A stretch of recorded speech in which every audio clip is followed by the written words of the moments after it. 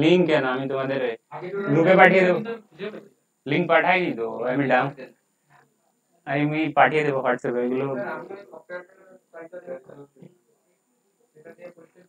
পরে দেখানো হবে অ্যাডভান্স অ্যাকাউন্টসের পরে শিখি ক্লাস শেষ হয়ে গেলে অ্যাডভান্স অ্যাকাউন্টে আচ্ছা আচ্ছা দেখো cash flow statement cash flow statement হুম প্রত্যেক কোম্পানিকে বানাতে হবে ক্যাশ ফ্লো স্টেটমেন্ট ক্যাশের ফ্লো কি হয়েছে সারা বছরে ক্যাশের ফ্লো কি হয়েছে সারা বছরে কোথা থেকে টাকা এসেছে কোথা কি পারপাসে টাকা চলে গেছে তার একটা স্টেটমেন্ট বানাতে হবে তুমি তো বলবে তো ক্যাশ অ্যাকাউন্ট আছে ক্যাশ অ্যাকাউন্ট তো দেখে নিলেই হবে না ক্যাশ অ্যাকাউন্ট দেখালে হবে না ক্যাশ অ্যাকাউন্টে সবকিছু মিক্স থাকে কিন্তু ক্যাশ ফ্লো স্টেটমেন্টে সেপারেটলি দেখাতে হবে কোন অ্যাক্টিভিটি থেকে কত টাকা এসেছে ক্যাশ ফ্লো স্টেটমেন্ট একটা স্টেটমেন্ট যাতে তুমি দেখাচ্ছ কোন অ্যাক্টিভিটি থেকে টাকা এসেছে কোন অ্যাক্টিভিটির পারপাসে টাকা চলে গেছে তো ক্যাশ অ্যাকাউন্ট থেকে অত ডিটেলে পাওয়া যায় না, ওখানে মিক্স থাকে সবকিছু। ক্যাশ অ্যাকাউন্ট থেকেও তো জানা যেতে পারে যে এই পারপাসে টাকা এসেছে, কিন্তু ওখানে সবকিছু মিক্স থাকে। মিক্স থাকে, তুমি ধরো টাকা পেল ডেটরের কাছ থেকে টু ডেটরস লিখে দিলে, তারপরে ইলেকট্রিসিটি বিলে খরচা হলো সেটাও লিখে দিলে। এরকম করে লিখছো। কিন্তু ক্যাশ ফ্লো স্টেটমেন্টে এখানে অ্যাক্টিভিটি ওয়াইজ ক্লাসিফিকেশন হবে। অপারেটিং অ্যাক্টিভিটি থেকে কতটা ক্যাশ এসেছে, আর অপারেটিং অপারেটিং অ্যাক্টিভিটি পারপাসে কতটা ক্যাশ চলে গেছে, সেটা জানতে পারবে। ইনভেস্টিং অ্যাক্টিভিটির থেকে কতটা ক্যাশ এসেছে আর ওই পারপাসে কতটা ক্যাশ বেরিয়ে গেছে, সেটা জানতে পারবে।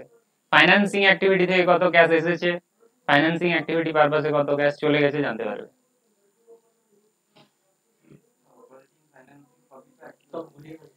অপারেটিং অ্যাক্টিভিটি হচ্ছে business day to day business চালানোর জন্য যে খরচা হচ্ছে যে অ্যাক্টিভিটি তুমি করছ, সেগুলো হচ্ছে operating activity day to day activity salary payment করা, আর ওয়েজেস পে করা পারচেস করা সেল করা, এগুলো হচ্ছে day to day activity business চালানো। এগুলো থেকে যে টাকা আসছে বা চলে যাচ্ছে, সবই এসে যাবে অপারেটিং অ্যাক্টিভিটিতে ঠিক আছে? এরপরে আমি বললাম ইনভেস্টিং অ্যাক্টিভিটি ইনভেস্টিং অ্যাক্টিভিটি বলতে কোথাও ইনভেস্ট করছ ফিক্সড অ্যাসেট পারচেজ করছ, বা কারও কোনো শেয়ারে ইনভেস্ট করছ। ডিভেঞ্চারে ইনভেস্ট করছ। আবার সেগুলোকে সেলও করে দিচ্ছ। তাহলে অ্যাক্টিভিটি ওইসব অ্যাক্টিভিটি থেকে যে টাকা আসছে বা চলে যাচ্ছে, সেগুলো একটা জায়গায় থাকবে। আরেকটা হচ্ছে ফাইন্যান্সিং অ্যাক্টিভিটি ফাইন্যান্সিং অ্যাক্টিভিটি বলতে তুমি কোথা থেকে লোন নিয়েছো বা কি করে টাকা নিয়ে এসেছ? ইকুইটি শেয়ার ইস্যু করে টাকা নিয়ে এসেছ? ডিভেঞ্চার ইস্যু করে টাকা নিয়ে এসেছ? কি প্রেফারেন্স শেয়ার ইস্যু করে টাকা নিয়ে এসেছ? জানা যাবে। আর এগুলো আবার পেমেন্টও হয় ডিভেঞ্চার পেমেন্ট হয়েছে এবছর কতটা প্রেফারেন্স শেয়ার কতটা রিডেমশন হয়েছে প্রেফারেন্স শেয়ারে রিডেমশন বলে ডিভেঞ্চারের রিডেমশন বলে ঠিক আছে ওটা মানে পেমেন্টটাকে করা হয় রিডেমশন লোনের ক্ষেত্রে রিপেমেন্ট ওয়ার্ডটা ইউজ হয় আর ডিভেঞ্চার প্রেফারেন্স শেয়ারের ক্ষেত্রে রিডেমশন ওয়ার্ডটা ইউজ হবে কিন্তু একই জিনিস ওদের টাকাটা রিটার্ন করে দিচ্ছি পেমেন্ট করে দিচ্ছি ঠিক আছে এইসব অ্যাক্টিভিটি থেকে ফাইন্যান্সিং মানে ফাইন্যান্স রিলেটেড কত টাকা এসেছে আবার চলে গেছে জানতে পারবে তাহলে এখানে ক্যাশ ফ্লো স্টেটমেন্টে তুমি তিনটে অ্যাক্টিভিটিকে আলাদা আলাদা করে দেখাচ্ছ এক- কোন অ্যাক্টিভিটি থেকে কত টাকা এসেছে চলে গেছে কোন অ্যাক্টিভিটি থেকে কত টাকা এসে গেছে চলে গেছে সব জানতে পারছি তিনটে অ্যাক্টিভিটি হ্যাঁ operating activity investing activity day to day activity নয় অপারেটিং বলা হয় অপারেটিং অ্যাক্টিভিটি যেটা আগে ডে টু ডে যা পেমেন্ট হচ্ছে এক্সপেন্স হচ্ছে operating activity investing activity financing activity financing activity যে জায়গা থেকে আপনি টাকা পাচ্ছেন শেয়ার ইস্যু করে টাকা পাচ্ছেন হ্যাঁ সোর্স অফ ফাইন্যান্স সেগুলোই আছে সোর্স অফ ফাইন্যান্স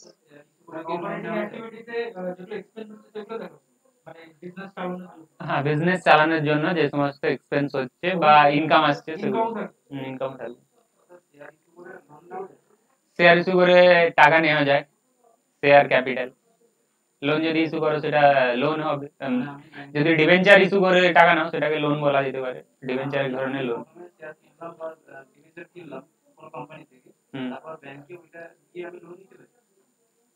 আচ্ছা হ্যাঁ তুমি ওটা মর্টগেজ করে বা প্লেস করে রাখতে পারো।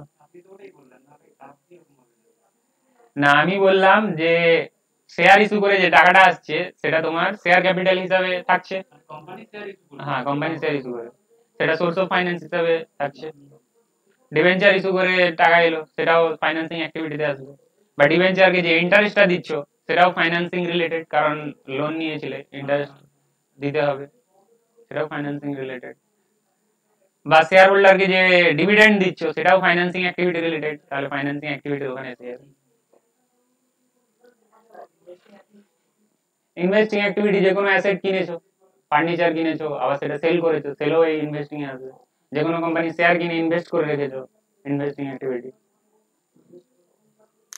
আচ্ছা এখানে ডিটেলে রয়েছে দেখো আহ, কোন কোম্পানিকে ক্যাশ ফ্লো স্টেটমেন্ট বানাতে হবে না প্রত্যেক কোম্পানিকে বানাতে হবে কিন্তু ওয়ান পার্সেন্ট কোম্পানিকে বানাতে হবে না স্মল কোম্পানিকে বানাতে হবে না ডরমেন্ট কোম্পানিকে বানাতে হবে ডরমেন্ট কোম্পানি বলতে যে কোম্পানি এখনো বিজনেস অ্যাক্টিভিটি চালু করেনি করেনি জাস্ট অ্যাসেট কিনে কোম্পানি কি করেছে?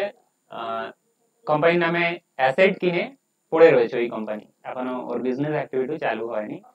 ওই কোম্পানিকে বলা হয় ডরমেন্ট কোম্পানি স্মল কোম্পানি তোমার এর যে ক্যাপিটাল পঞ্চাশ লাখ পর্যন্ত আর টার্ন ওভার দু কোটি পর্যন্ত। তো তাকে বলা হবে স্মল কোম্পানি হ্যাঁ প্রিভিয়াস ফিনান্সিয়াল আগের বছরে এখানে কোথায় আছে আমি দেখে দিচ্ছি তাতে তোমার পড়তে সুবিধা হবে পরে। রয়েছে স্মল কোম্পানি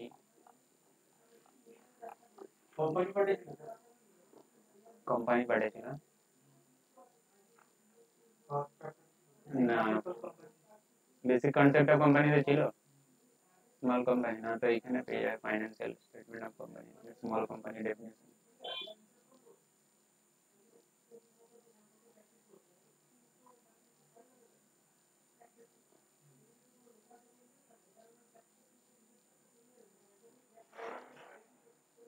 এখানে দেখো স্মল কোম্পানি রয়েছে।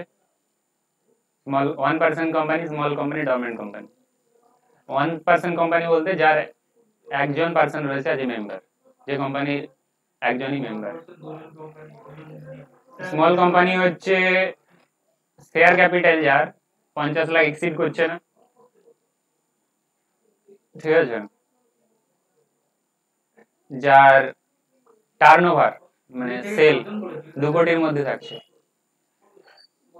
স্মল কোম্পানি বলতে যার কি বল কোনটা বলছেন other than the public company public company না এটা বলছেন না পাবলিক আর প্রাইভেট পাবলিক কোম্পানি কখনোই স্মল কোম্পানি হতে পারে না পাবলিক কোম্পানি বলতে যে কোম্পানির সাতজন মেম্বার লাগবে মিনিমাম সেই কোম্পানি কোনোদিন maximum unlimited public company public company private company private কোম্পানিতে মিনিমাম দুজন মেম্বার লাগবে আর পাবলিকে সাতজন লাগবে আচ্ছা প্রাইভেটে পাবলিক মানেই নয় যে যাতে শেয়ার ট্রেড হবে তার মানে হচ্ছে পাবলিকের মানে হচ্ছে তোমার ওর মেম্বার সাতজন মিনিমাম থাকতেই হবে। তারা ইনভেস্ট করবে। এবার তুমি যদি বলো যে আমি তোমার কোম্পানি বড় হচ্ছে পরপর, তুমি যদি বলো যে আমি পাবলিককে সেল করতে চাই, তাহলে তুমি তোমার শেয়ার স্টক এক্সচেঞ্জে লিস্ট করবে, তবে পাবলিকলি সেল হবে, যে কেউ কিনতে পারবে অনলাইন হ্যাঁ তো পাবলিক কোম্পানি শুধুমাত্র লিস্ট করাতে পারবে প্রাইভেট কোম্পানি লিস্ট করাতে পারবে না। আচ্ছা হচ্ছে প্রাইভেট কোম্পানিতে ম্যাক্সিমাম ইনভেস্ট কত ম্যাক্সিমাম ম্যাক্সিমাম ইনভেস্ট কত প্রাইভেটে দুশো প্রাইভেটে দুশো। 200 আর দুই দুই থেকে দুশো স্যার 200 না এখন কিছু আপডেট করেছে স্যার দুশোই আছে দুই হাজার মতো পাবলিকে চলে আসবে ম্যাক্সিমাম মেম্বার দুশো হ্যাঁ সাত যখন পেরিয়ে এসেছে তখন কিন্তু না না মিনিমাম আমি বললাম min- তুমি যদি পাবলিক কোম্পানি বানাতে চাও মিনিমাম সাত লাগবে আর প্রাইভেটে দুজন হলেই তুমি বানাতে পারবে। আমি বললাম মিনিমাম রিকোয়ারমেন্ট। প্রাইভেটে ম্যাক্সিমাম দুশো পর্যন্ত মেম্বার নিতে পারো। মানে শেয়ার 200 পর্যন্ত সেটাকে হ্যাঁ হ্যাঁ হ্যাঁ। নাও সেটা প্রাইভেট। পাবলিকের মধ্যে difference, পার্থক্য কোথায়? Minimum তুমি শেয়ার ট্রান্সফার করতে পারবে না। শেয়ার বাজারে অ্যাডভার্টাইজমেন্ট করে টাকা নিতে পারবে না। প্রাইভেটে আর যদি পাবলিক হয় তাহলে তুমি অ্যাডভার্টাইজমেন্ট করে প্রসপেক্টাস ইস্যু করে টাকা নিতে পারবে মানে শেয়ার ইস্যু করে প্রসপেক্টাস ইস্যু করছে মানে শেয়ার করে ইস্যু করে টাকা নেবে। জন্য মানে ডকুমেন্টস বানাতে হবে। সেবি রয়েছে ওইদিকে পাবলিক কোম্পানি পাবলিক কোম্পানির জন্য সেবি রয়েছে। সেবি রেগুলেশন ফলো করতে হবে।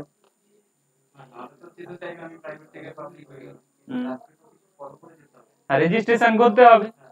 রেজিস্টার রয়েছে মিনিস্ট্রি অফ কর্পোরেট অ্যাফেয়ার্স রয়েছে ওইখানে সবকিছু ডকুমেন্ট ফাইল করতে হয় মিনিস্ট্রি অফ কর্পোরেট অ্যাফেয়ার্স গ্যাসের অ্যামাউন্টে কিছু আছে পাবলিক কোম্পানির ক্যাশের অ্যামাউন্টের প্রাইভেট কোম্পানির গ্যাসের না না ক্যাশের কোনো লিমিট নেই এখানে বলছে যে স্টার্ট করতে ক্যাশের বিজনেস রেজিস্ট্রেশন হয়ে গেল তারপর বিজনেস স্টার্ট হয়ে গেল ক্যাপিটাল ব্যাংক অ্যাকাউন্টে স্টার্টিং এর time minimum capital minimum capital আগে ছিল এখন নেই মিনিমাম ক্যাপিটাল আপনার এক লাখ হতে পারে পঞ্চাশ হাজার হতে পারে আগে ছিল এখন নেই। সাতজন মিলে ম্যাক্সিমাম না ম্যাক্সিমাম তো নেই মিনিমাম আগে ছিল এখন নেই ম্যাক্সিমাম আপনি চালু করবেন বিজনেস আপনার যদি দশ কোটি টাকা থাকে কি দশ হাজার কোটি টাকা থাকে আপনি ওটা দিয়ে চালু করবেন কি না বলে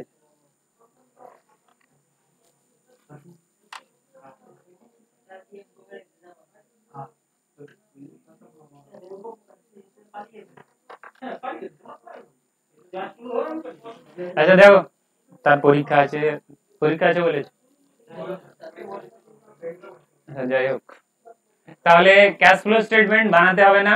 ওয়ান পার্সেন্ট কোম্পানিকে স্মল কোম্পানিকে ডরমেন্ট কোম্পানিকে ওয়ান পার্সেন্ট একজন member small company turn over পঞ্চাশ টার্ন ওভার দু কোটি বেরোচ্ছে না।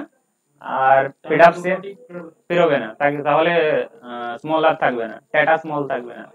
ঠিক আছে তারপর কি হয়েছে তারপরে প্রাইভেট কোম্পানি হয়ে যাবে। তখন তো তাকে বানাতে হবে। তোমার যদি টার্ন ওভার আগের বছরে দু কোটির বেশি হয় তার মানে তোমার তো স্মল কোম্পানি তুমি ডেফিনেশনে থাকছো না। তাহলে তোমাকে ক্যাশ ফ্লো স্টেটমেন্ট বানাতে হবে? প্রাইভেট কোম্পানি স্মল কোম্পানি হবে। প্রাইভেট কোম্পানি স্মল কোম্পানি হবে। শুধু যদি তার টার্ন ওভারটা ওই দু কোটির মধ্যে থাকে আর পেড আপ ক্যাপিটালটা যদি পঞ্চাশ লাখের মধ্যে থাকে তবেই ট্যাটাস হবে স্মল কোম্পানি স্ট্যাটাসের কথা বলছি যখন আমি স্মল থেকে প্রাইভেটে আপগ্রেড হচ্ছে সেই ক্ষেত্রে কি ট্যাক্সেশনে কিছু বেশি না না কোনো কোনো চেঞ্জ নেই ট্যাক্সের কোনো চেঞ্জ নেই সবকিছু একই শুধুমাত্র কোম্পানি লয়ের হিসাবে কিছু ছাড় দেওয়া হয়েছে যেমন এখানে বলে দেওয়া হয়েছে কি তোমাকে ক্যাশ ফ্লো স্টেটমেন্ট বানানোর দরকার নেই ঠিক আছে ট্যাক্সের কোনো ছাড় নেই ট্যাক্সে যা আছে সেটা দিতে হবে কোম্পানির ক্ষেত্রে থার্টি পার্সেন্ট দিতেই হবে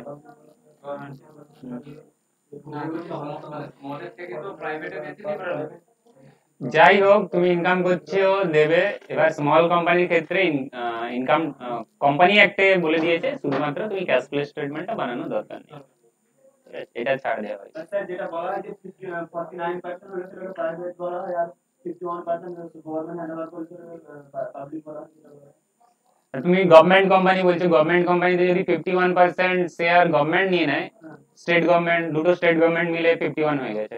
বা একটা সেন্ট্রাল গভর্নমেন্ট মিলে ফিফটি ওয়ান হয়েছে একজন, একটা স্টেট গভর্নমেন্ট মিলে তার share fifty one percent hold করে আছে। তাহলে গভর্নমেন্ট কোম্পানি বলা হবে।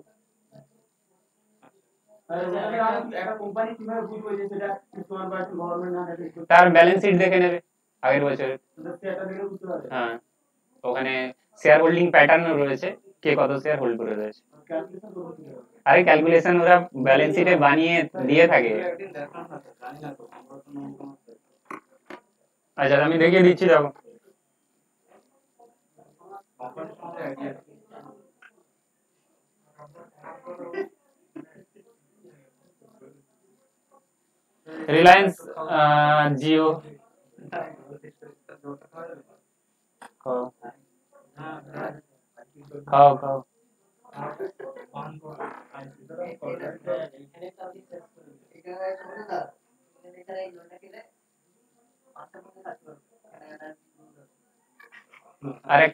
খাওয়ার পরে ঠিক আছে আর একটা বোতল নিয়ে আসবে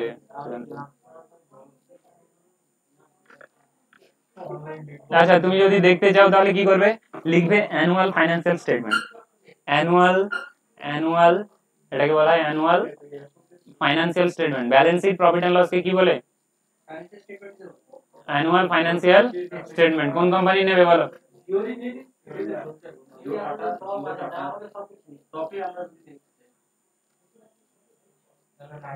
অ্যানুয়াল আচ্ছা এটা রিলায়েন্স ইন্ডাস্ট্রি চলে গেছে রিলায়েন্স আমরা যে রিলায়েন্স ইনফোকমে দেখবো রিলায়েন্স ইনফোকম হুম রিলায়েন্স ইনফোকম কেন শো করাবে না এই পাবলিকের টাকা নিচ্ছে কেন শো করাবে না দেখো, যে কোম্পানি লিস্টেড রয়েছে শো করাবে না। সব কোম্পানি তুমি দেখতে পারবে balance sheet profit and loss ঠিক আছে? এটা হচ্ছে নোটিশ কিসের নোটিশ জেনারেল মিটিং এর নোটিশ অ্যানুয়াল জেনারেল মিটিং এর নোটিশ তারপর এটা হচ্ছে এটা কি বলছে? এটা নোটস একশো বত্রিশ পেজের রয়েছে। আমি তোমাকে শুধু ব্যালেন্স শিট প্রফিট এন্ড লসটা দেখিয়ে দিচ্ছি, ঠিক আছে? এটা বোর্ড রিপোর্ট বোর্ডের রিপোর্ট রয়েছে। বোর্ড রিপোর্ট কত কি প্রফিট হয়েছে বোর্ড দেখাচ্ছে, এই বছর আমরা এই প্রফিট করেছি, আগের বছরের সাথে কম্পেয়ারি করে দেখাচ্ছে। ঠিক আছে?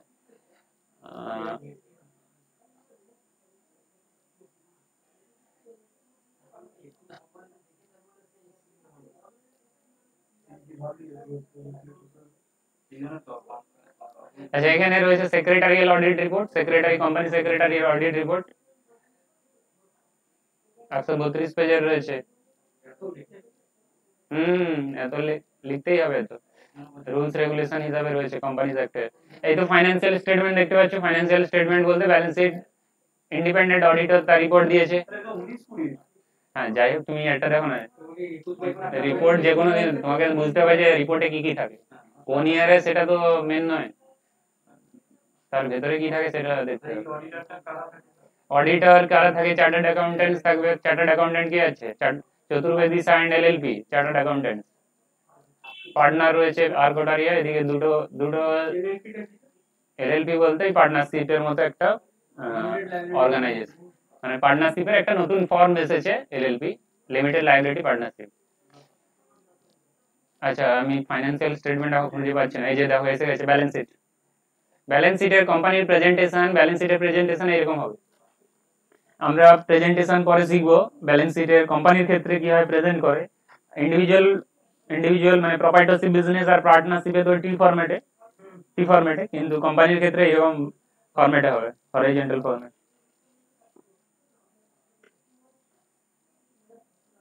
এই ফরম্যাটে মানে আগে অ্যাসেট থাকবে এইভাবে লিখতে হবে পরপর অ্যাসেট গুলো তারপরে লাইবিলিটি লাইবিলিটি লেখা হবে ইকুইটি লাইবিলিটি এখানে লাইবিলিটি থাকছে তো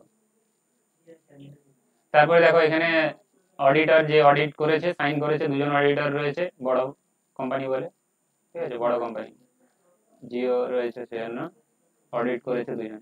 এদিকে ডাইরেক্টর চেয়ারম্যান সব সাইন করেছে, তাদের দিন নাম্বার ডাইরেক্টর আইডেন্টিফিকেশন নাম্বার এই প্রফিট এন্ড লসে তুমি দেখো প্রফিট এন্ড লসের প্রেজেন্টেশন অন্যরকম রয়েছে কোম্পানির ক্ষেত্রে। এখানে ইনকামে কি আছে? Revenue from operation and other income এই দুটি রয়েছে। এই দুটি নোটে রয়েছে দেখো। নোট বাইশে যদি যাও তাহলে তুমি রেভিনিউর মধ্যে কি কি আছে দেখতে পাবে?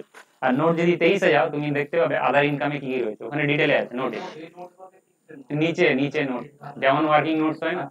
তোমাকে ডিটেলে দেখতে হবে। এক্সপেন্সের মধ্যে এই সব রয়েছে। টোটাল এক্সপেন্স দেওয়া রয়েছে profit report exceptional item and tax, profit before tax, PBT, tax expense, current tax, deferred tax. তাহলে এখানে দেখো আবার অডিটর সাইন করেছে দুজন অডিটর ডাইরেক্টররা তাদের ডি নাম্বার সাইন করেছে। এইখানে আমি শেয়ার হোল্ডিং প্যাটার্নটা তোমাকে দেখাচ্ছি। তুমি বললে যে কি করে বুঝতে পারবে শেয়ার হোল্ডিং প্যাটার্ন এই যে দেখো ক্যাশ ফ্লো স্টেটমেন্ট বানিয়েছে। ক্যাশ ফ্লো স্টেটমেন্ট বানিয়েছে কোম্পানি ক্যাশ ফ্লো স্টেটমেন্ট বানিয়ে নিয়েছে। কারণ এই দেখো, এখানে রয়েছে cash flow form operating activity থেকে বেরিয়েছে এটা। ইনভেস্টিং অ্যাক্টিভিটি থেকে বেরিয়েছে ক্যাশ ফ্লো এটা।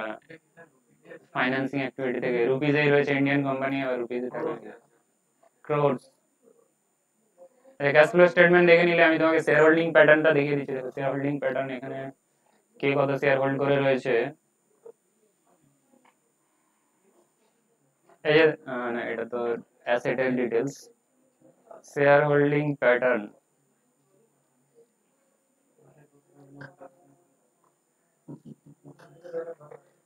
এই দেখো। এখানে রয়েছে অথরাইজ ক্যাপিটাল রয়েছে পেড আপ শেয়ার ক্যাপিটাল রয়েছে। Authorise capital paid up capital কত আছে দেখতে পাচ্ছ? কাউন্ট করো দেখি কত হয়। জিরো গুলো কাউন্ট করতে থাকো, কত কোটি? পঁয়তাল্লিশ হাজার কোটি। এত কোটি টাকার চার হাজার পাঁচশো না, পঁয়তাল্লিশ হাজার। আরে এইদিকে জিরো এই পাশে তো লেখা রয়েছে, এইদিকে আর দিমাগ লাগানোর দরকারই নেই। ক্লোজ লেখা রয়েছে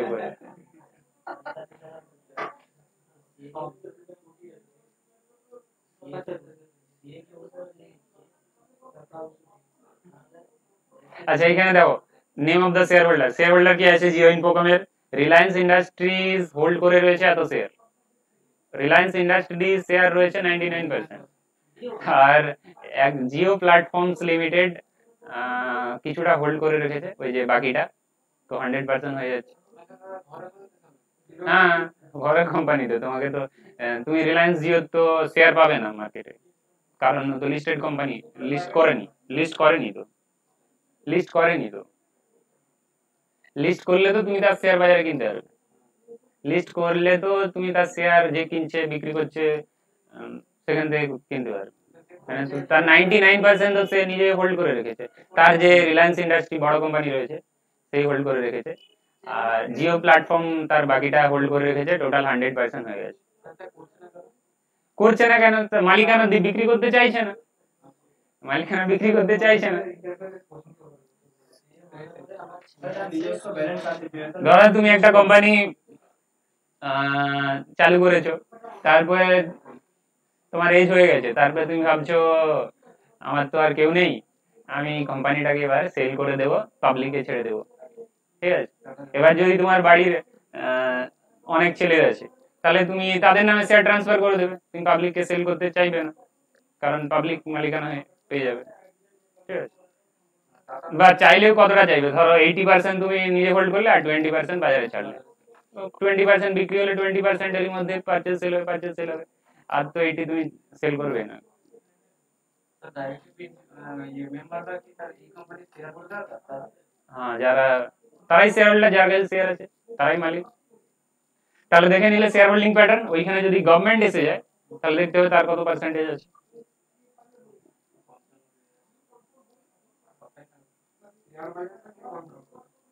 শেয়ার বাজারটা কেউ কন্ট্রোল করেন তোমার আহ, মিদনাপুরের মিদনাপুরের মার্কেট কে কন্ট্রোল করে কেউ কন্ট্রোল করে যে কেউ পারচেজ যার যার আহ, তোমার বাড়িতে প্রোডাকশন হচ্ছে সবজি সে নিয়ে এলো আর তুমি কিনবে গিয়েছো টাকা দিয়ে কিনলাম।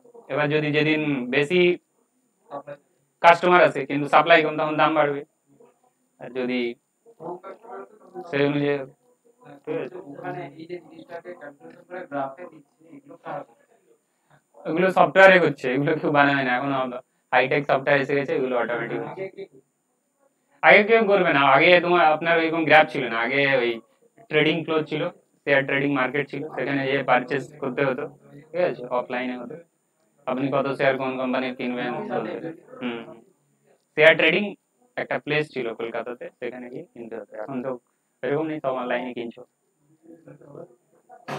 আচ্ছা তাহলে মেন টপিকে আসা যাক এখানে তোমার এগারোটা বিয়াল্লিশ হয়ে গেছে গ্রাফটা তাহলে কেউই তো জানে না যে কি হবে না না জানে না আচ্ছা আমি তোমাকে দেখিয়ে দিচ্ছি দেখো আমার এখানে প্রাইস কিভাবে ফ্ল্যাকচুয়েট করছে দেখো ওটা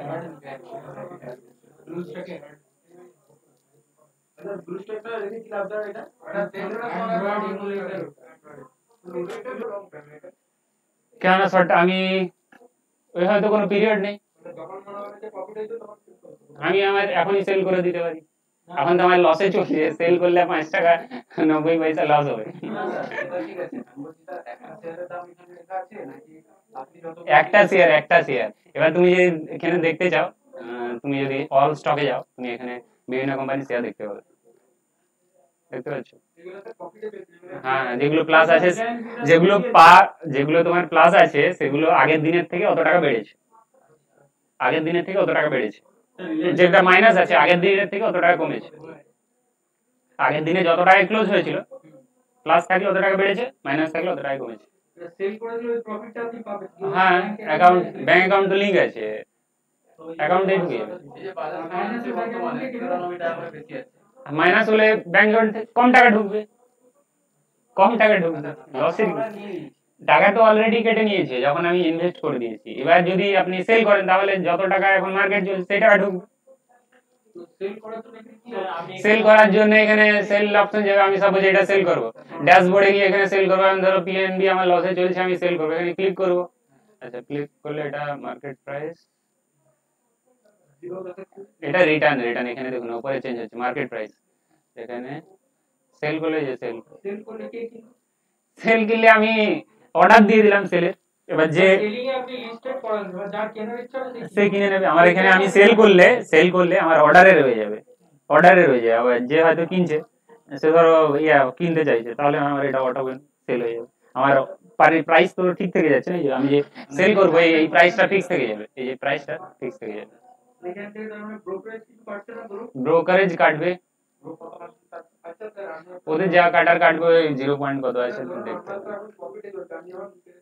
হবে। হ্যাঁ এই তো প্লাস হয়ে গেছে এটা প্লাস হয়ে গেছে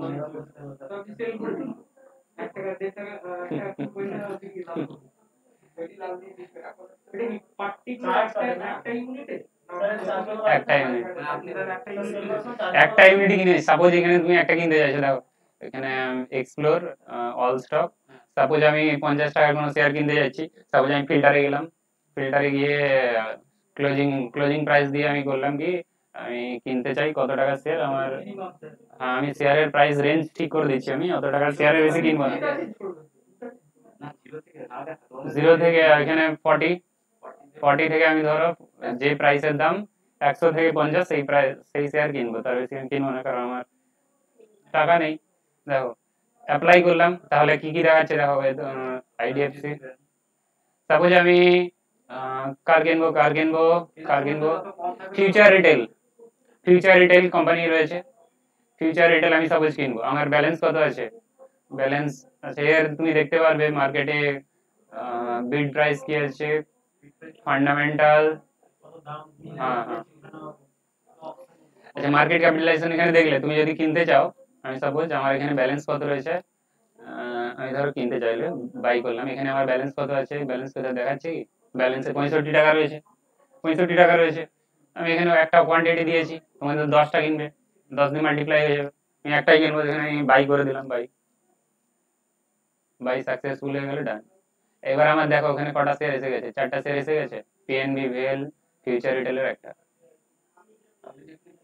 হ্যাঁ তো আমার এবার ব্যালেন্স তুমি নীল দেখতে হবে ব্যালেন্স পঁয়ষট্টি টাকা থাকবে না, কমে যাবে। ব্যাংক থেকে টাকা পাঠাতে হবে এই যে ব্যাংক ব্যাংক অ্যাকাউন্ট ডিটেলস তুমি টাকা তোমাকে টাকা পাঠাতে হবে অ্যাড করতে হবে ওখানে আহ, তোমার ওয়ালেটে এই দেখো হ্যাঁ, এখানে অ্যাড মানি করলে তোমার ব্যাংক অ্যাকাউন্টে টাকা পাঠাতে হবে ওয়ালেট সিস্টেম আছে বাইশ টাকা আছে এখন প্যান কার্ড রেজিস্ট্রেশন করাতে হবে প্যান কার্ড থাকতে হবে আধারের সাথে মোবাইল নাম্বার লিংক থাকতে হবে তবে গিয়ে তুমি পারবে তো করে নেবে হ্যাঁ পেটিএম ব্যাংক হবে Paytm bank link করে দেবে। আচ্ছা তাহলে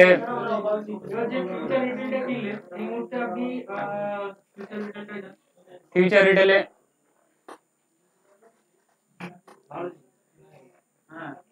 ফিউচার রিটেলে কিনে নিলাম একটা কিনলাম আর সেই জন্য আমি দেখিনি আমি দশ কোটি ইনভেস্ট করছি ক্লাসে চলছে ক্লাসে চলছে। কি করে দেখলেন? গ্রিন আছে হ্যাঁ মনে হচ্ছে এখানে আপনার তেতাল্লিশ টাকা আশিতে কিনেছিলাম সেম দাম রয়েছে সেম রয়েছে গ্রিন থাকবে হ্যাঁ নেগেটিভে থাকলে তোমার এ চলে রেড আছে চার্জ স্যার ওটা চার্জ বেশি করে নেবে স্যার হুম ওটা বিক্রি করতে চার্জটা বেশি করে নেবে আমি এখনো বিক্রি করিনি চার্জ বেশি কাটে না তোমার এত শেয়ার কি আর হয়তো ধরো সাত পয়সা আট পয়সা এত টাকা শেয়ার তোমার যদি দশ কোটি এক লাখ দশ কোটি সেই রকম আসবে পোর্শন এখানে তোমার জিরো পয়েন্ট টু পার্সেন্ট মনে হয় ব্রোকারেজ আছে আমি দেখেছিলাম আচ্ছা এখানে যদি পারচেজের দেখো ব্রোকারেজটা পারচেজের ব্রোকারেজ আমি দেখে নিচ্ছি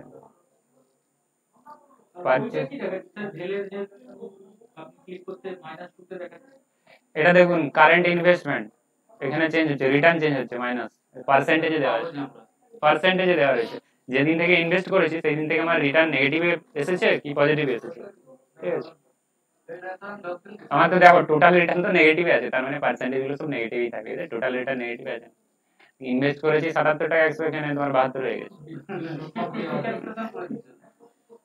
হ্যাঁ হ্যাঁ সফটওয়্যারে চলছে ঠিক আছে দেখে নিলে তাহলে শেয়ার মার্কেট যখন আপনি বিক্রি করবেন তো আজকে না হয় দশ দিন পনেরো দিন এক মাস দশ দিন বেশি রাখতে পারেন যত উন্নতি রাখতে হবে বেশি দিন থাকলে তাহলে তোমার এজিএম এ তুমি লেটার পাবে অ্যানুয়াল জেনারেল মিটিং কোম্পানি হয় না বছরের শেষে জেনারেল মিটিং এ লেটার করবে হ্যাঁ তো মেলে পাঠিয়ে দেবে হ্যাঁ একটা শেয়ার হলে শেয়ার হোল্ডার একটা শেয়ার হোল্ডার একটা শেয়ার হলে শেয়ার হোল্ডার বর্তমানে যে- মানে টপ কোম্পানিগুলো কোনটা কোনটা আছে না টপ কোম্পানি বলে কিছু নেই তুমি আহ, তোমাকে ওখানে গিয়ে সার্চ করতে হবে ওখানে স্যার রিলায়েন্স সিঙ্গেল ইউনিটের দাম কত দেখবো রিলায়েন্সে আপনি দেখে নেবেন আমি এখন আমাকে ক্যাশ ফ্লো স্টেটমেন্ট করাতে হবে রেজিস্ট্রেশন করে দেখেন কিন্তু তো আপনি এটা শেয়ার করে দিন এখানে Reliance industries Reliance Reliance industries stock এই তো আছে একটাই একটা শেয়ারের দাম এটা কিনবে কিন্তু স্যার বাড়ি না ওই তো পজিটিভ আছে মানে আজকে কতটা বেড়েছে দেখো কিভাবে বাড়ছে দেখো ন টাকা আগের শেয়ারগুলো কি দাম ছিল জানতে পারবো মানে কালকে পরশু এইখান থেকে যে জানতে পারবে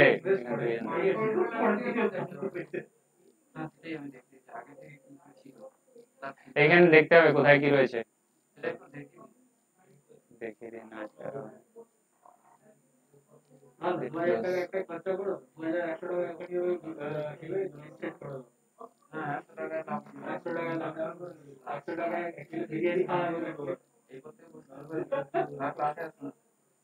হ্যাঁ ফর্টে যদি একশো টাকা করে লাভ হয় তিরিশ দিলে তিরিশ একটু একশো ঠিক আছে ঠিক আছে? আমাকে পাস করছে গ্রাজুয়েশন আমার বন্ধু সে আমার কাছে নিয়ে গেছিল।